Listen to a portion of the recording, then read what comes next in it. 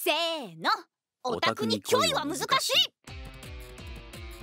噛んで噛んでないよ。わざとらしいくらい。噛んでないよ。往年のネタを自らで踏襲する気持ちはたくさんの応援本当にありがとうございます。す。しかしオタコイ最終回まさかの爆発打ちとは。ねろたかが親指を立ててまさかに最後に沈んでいくとこ成美が一人を残っなしでは見られね。じゃあそろそろ締めますかね。はいよ。せーの。一人者もう